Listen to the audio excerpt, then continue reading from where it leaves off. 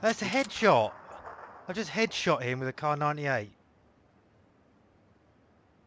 And you'd hit him. You just shot him. Blood came up. I headshot him.